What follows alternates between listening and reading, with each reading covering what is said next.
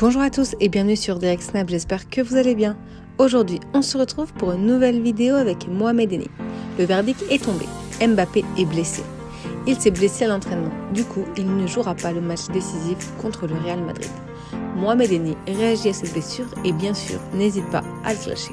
Je vous en dis pas plus et je vous laisse avec la vidéo. Là, là, regardez-moi ça, le Poissard Saint-Germain. Je me disais, c'est bizarre, tout va bien au PSG, alors que c'est un club de poissards. Ils ont la poisse, regardez les gars.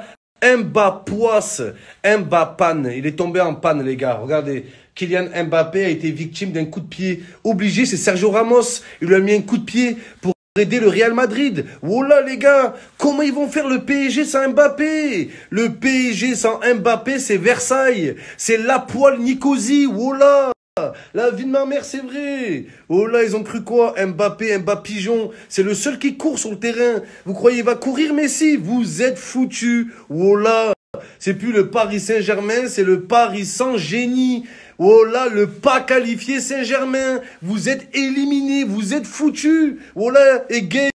Gay, il bégaye. Oh il est là, il a peur. Ouais, désolé. C'est plus Idrissa Gay. C'est Il Glissa Gay. Tu vas glisser, c'est fini ta carrière.